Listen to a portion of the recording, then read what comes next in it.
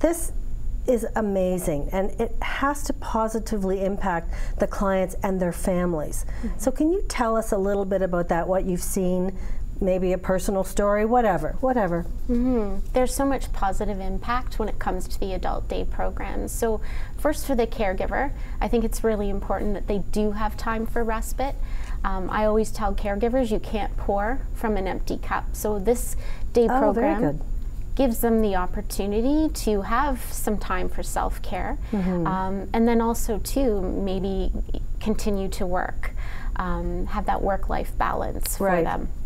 And then for the clients, um, it gives them autonomy, mm -hmm. gives them mm-hmm. something that is their own, um, a place to come to. They build rapport uh, with the staff that work there. Uh, they develop friendships with the clients oh, that nice. are also there. Yeah. Oh, that's great. Do uh, are there any mixed feelings or guilt about families who um, who would put their their parents? I'm, and I'm using parents mm -hmm. as an example into one of these programs. Mm -hmm. It's really common um, that people do have guilt. It okay. is a difficult decision. Mm -hmm. um, but I think it's important again just to recognize that you can't pour from an empty cup. Right. So you need to use those services so you can can continue to provide care.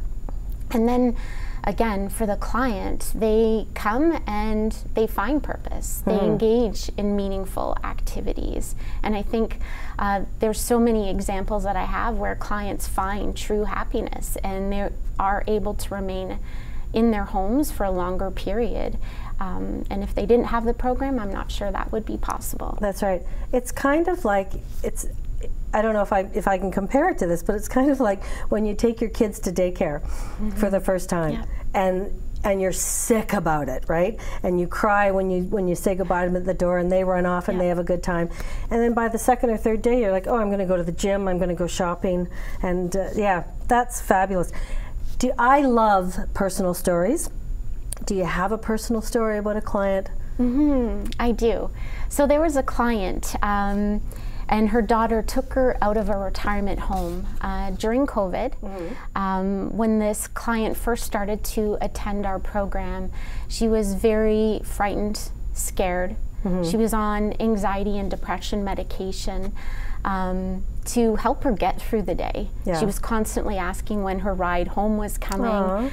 Yes. Um, and then uh, once we established a rapport, mm-hmm. we went and you know developed that consistent routine with her. We really saw her come out of her shell.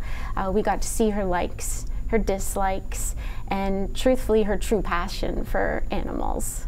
Oh, do you bring animals into the program? We're very fortunate. We have two pet therapy guinea pigs oh, no. at our program.